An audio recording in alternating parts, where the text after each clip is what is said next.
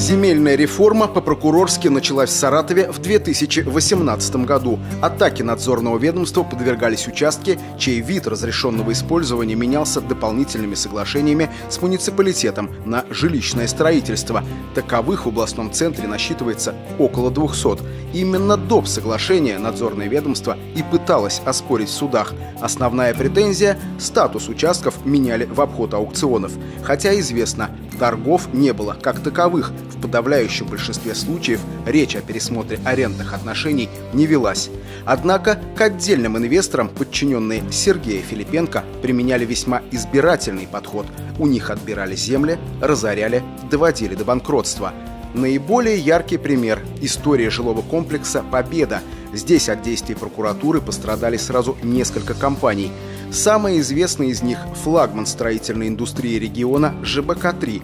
В настоящее время один из самых успешных и крупных игроков на рынке доведен до критического состояния и оброс долгами. В отношении него введена процедура наблюдения.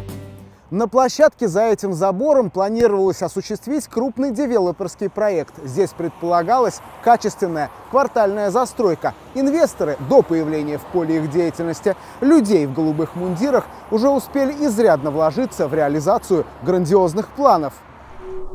Жилой комплекс «Победа» должен был представлять из себя небольшой городок со своей инфраструктурой, законченным архитектурным дизайном и своим микроклиматом. Детский сад в шаговой доступности, котельная и трансформаторная подстанция. Ролики в интернете рассказывали об экологически чистом районе и квартирах с видом на Волгу.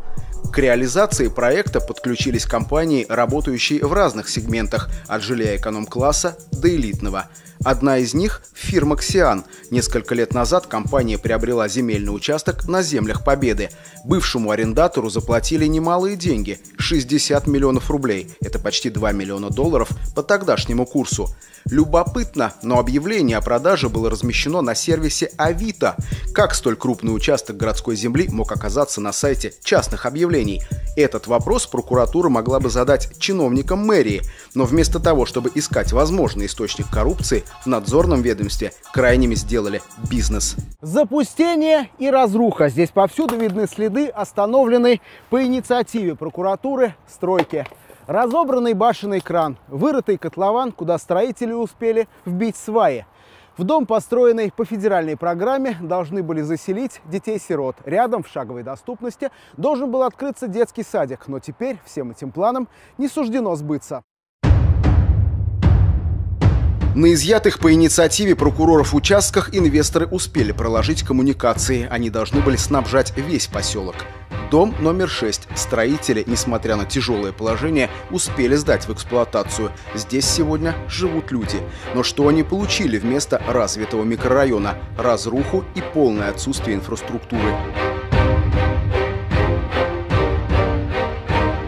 Ни дорог, ни подходов к остановке, ничего. Только стройка, которая может затянуться на неопределенное время. Дом номер 5. Готовность 70%. У дома номер 1 и того меньше. 31%. Те, кто купил в них квартиры, сегодня пополнили ряды обманутых дольщиков. Решать их проблему пришлось в спешном порядке. Более сотни потенциальных жильцов около месяца назад попросили помощи в интернете, хотя ранее региональные власти отчитались перед спикером Государственной Думы Вячеславом Володиным о том, что проблема обманутых дольщиков в регионе закрыта. История с ЖК «Победа» выбивалась из этой идиллической картины. На объект нашли нового застройщика – компанию «Саратов Стройсервис». Вряд ли участие компании будет бескорыстным. Цена вопроса – земельный участок в качестве оплаты за работу или возможность осваивать новые бюджетные контракты. К самой фирме тоже есть вопросы. По данным из открытых источников, прошлый год для компании был убыточным – минус 9 миллионов рублей. Тогда откуда деньги на завершение проекта? Ведь речь идет о сотнях миллионов рублей. Но отрицательная бухгалтерия прокуроров, видимо, не смущает. Как не смущала и многолетняя практика выделения земли в Саратове, когда самые лакомые для застройки куски доставались доверенным лицам чиновников мэрии. Традиции были заложены еще во времена мэра Юрия Аксененко. У их истоков стоял тогдашний глава профильного комитета Андрей Алешин. О том, как работала схема на страницах информагентства «Взгляд инфо» рассказывал его бывший зять Александр Кретов. Ни о каких земельных аукционах тогда речи не шло, а ведь деньги от них могли пополнить скудный городской бюджет. Перспективные земли выводились из городской собственности. На них строились жилые дома, торговые комплексы, объекты сдавались в аренду, а доходы поступали отнюдь не в государственный карман.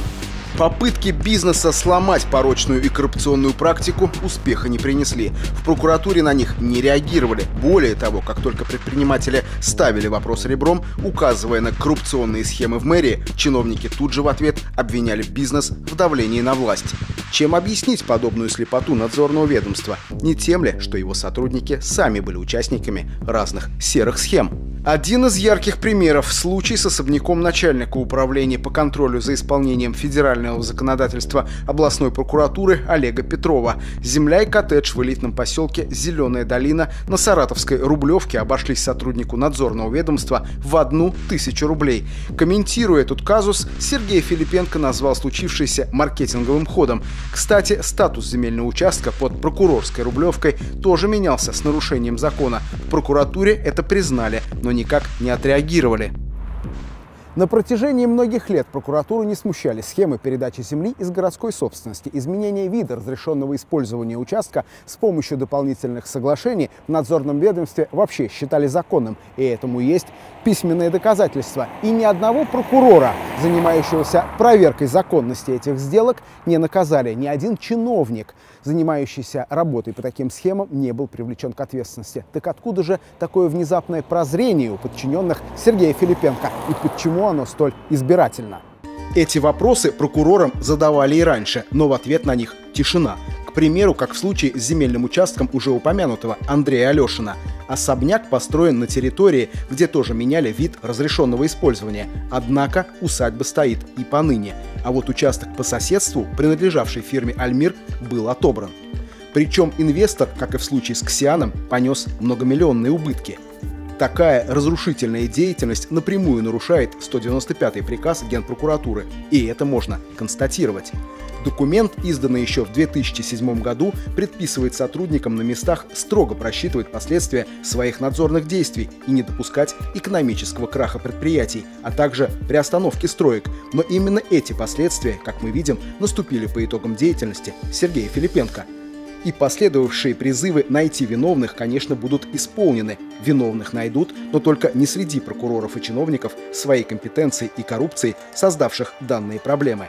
Что же до земельных аукционов, то они как не проводились в Саратове, так и не проводятся. Как и прежде, земля достается доверенным лицам и фирмам городских чиновников.